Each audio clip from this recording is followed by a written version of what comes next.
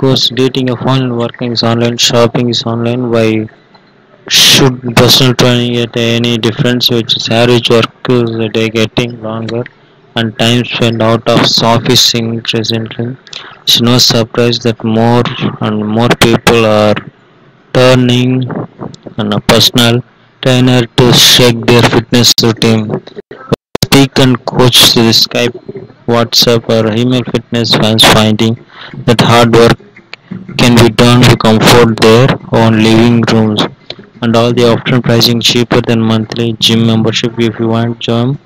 New wave or the 10th of best online personal training service consider. Its ultimate performance fitness and kaizen app and uh, free lasting lasting and squatter ladder and uh, adrenaline and the, athlete factors and uh, garden green home and uh, private bar online transformation james round and thanks for watching. Uh, links is the description. And get the product by and thank you